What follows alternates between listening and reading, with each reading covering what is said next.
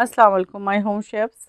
This is Farah welcome back to my channel शुरू करने से पहले अगर आप मेरे चैनल पे नए हैं तो मेरे चैनल को सब्सक्राइब करना, वीडियो को लाइक करना और फैमिली फ्रेंड के साथ मेरे चैनल को शेयर करना नहीं भूलिएगा। और साथ ही साथ बेल आइकन को भी क्लिक करना ना भूलें। आज मैं सिखाऊँगी आपको नारियल का हलवा बनाना, जिसके लिए यहाँ मैंने लिया डालडा, जिसको आप घी के साथ भी बना सकते हैं। इसके अलावा यहाँ में मैंने लिया thick cream, desiccated coconut, sugar, पिस्ता, बादाम, वन से टू पिंच फ़ूड कलर ले लिया।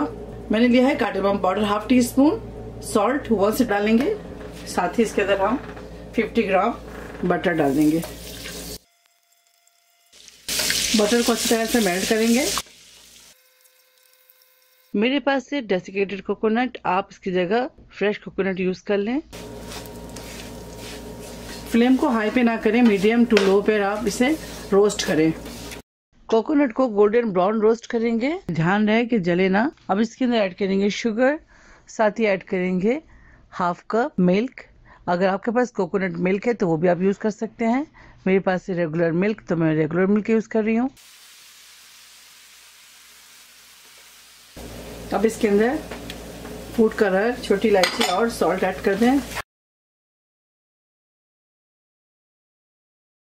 अच्छी तरह से मिक्स करेंगे।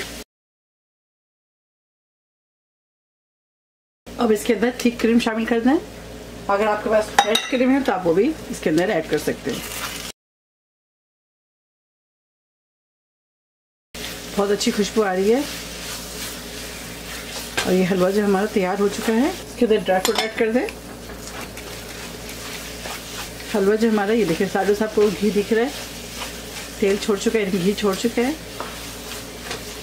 अब इसके अंदर ऐड करेंगे। आपके पास अगर रोज वाटर है तो वो ऐड कर दें। केवड़ा एसेंस